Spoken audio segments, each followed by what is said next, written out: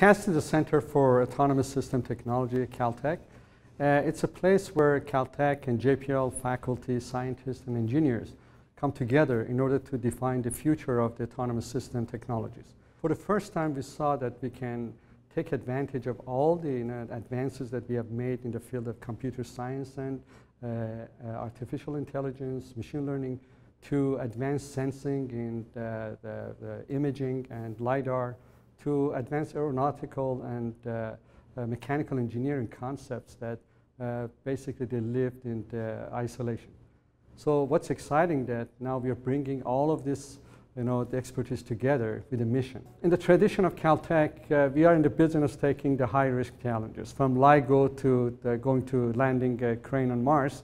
You know, these are challenges that we have always taken. So CAST is in the same tradition going to really embark on uh, solving challenges in autonomous system technologies from driverless cars to uh, reducing the risk of you know uh, doing uh, conducting uh, scientific research to you know medicine and uh, helping the, the, communities to basically survive or be lesser at risk.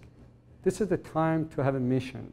So we believe that not only it's important to do basic research and basic develop basic understanding of different systems as they regard to autonomous systems.